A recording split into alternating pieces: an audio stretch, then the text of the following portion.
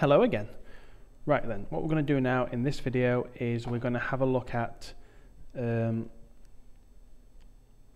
painting with those textures that we just found. Okay, so the first thing we will do um, is we're going to save this as something else. So file, save as. I'm going to call this terrain diffuse. Okay, so that's what I'm going to build my texture out of. So, okay. And then I'm going to flatten the image because this is just going to act as a guide now. So, flatten image, so that's now just one layer. I'm also going to increase the size so that I get a less blurry texture. So I'm now going to go to image, image size, oh, that's ugly, and I'm going to choose pixels, and I'm going to make this 2048 by 2048, which will just add a lot more detail. There you go, and I'll just press Control and Zero again to make it fit. So it's exactly the same, but I'm operating at a higher resolution now, so my textures will look nicer. Okay, so first thing I want to do is lay down that dirt texture to cover everything. So I've got a sort of like an undercoat really, so there's not going to be any gaps showing through. And that's really important. So in order to do that, I need to create a new layer. And I'm going to call this dirt. Lovely. And then I want to add uh, one of these FX layers here. So click on that, and I'm going to choose a pattern overlay.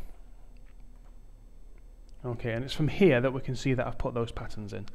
So what I now do is I find that pattern, so it's this one here. It should um, tell me what it is, although it doesn't, but it is that one there. So that's my dirt texture, and I actually saved them in order so I knew which way around I'd use them.